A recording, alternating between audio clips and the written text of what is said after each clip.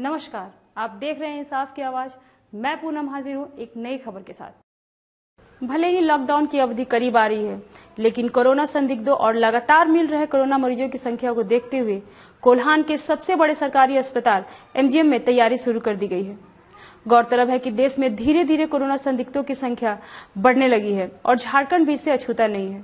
ऐसे में अब जाँच प्रक्रिया को और भी तेज करने की तैयारी है। इसे लेकर अस्पताल के नए मेडिसिन भवन परिसर का प्रयोग इस महामारी से संक्रमित मरीजों के लिए किए जाने का निर्देश मिलते ही अस्पताल प्रशासन इस नए भवन की साफ़ सफ़ाई में जुट गया है।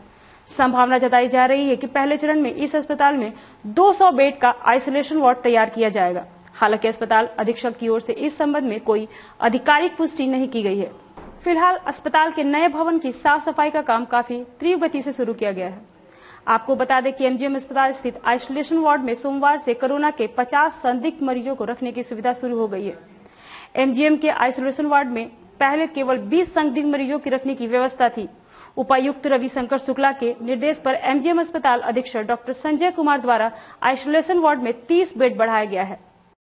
तैयारी चल रही है। कोशिश की जा रही है कि बेड की संख्या बढ़ाई जाए। तो साफ़ सफ़ाई की काम चल रही है अभी। ज़रूरत के हिसाब से जितना हो सकता है, हम लोग कोशिश कर रहे हैं कि इसको बेड को इंक्रीज किया जाए। ये पीछे में न्यू बिल्डिंग है पीडियाट्रिक्स मेडिसिन की उसमें बन रही है। देखिए, अभी साफ़ सफ़ाई चल रही है, कोशिश यही है कि ज़्यादा से ज़्यादा बेड इसमें लगाई जा सके। जब सारी साफ़ सफ़ाई हो जाएगी, उसके बाद ही पीछे क्लियर हो पाएगा कितना बेड लग पाएगा अभी के लिए बस इतना ही। दिन भर की ताज़ा अपडेट के लिए हमारे चैनल को लाइक, सब्सक्राइब और शेयर करना न भूलें।